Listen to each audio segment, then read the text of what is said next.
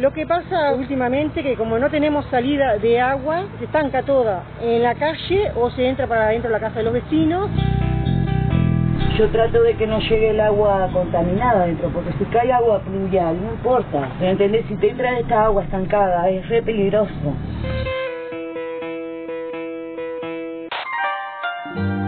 El captivo surge de Corea del Sur. Hap significa unión, Ki significa energía y Do significa camino. En este tipo de arte marcial lo primero es eh, la filosofía de vida.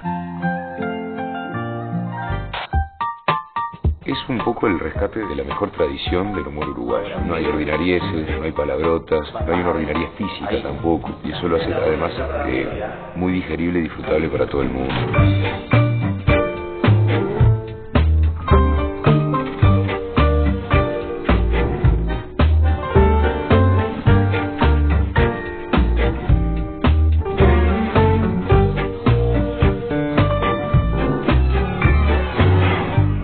Algunas veces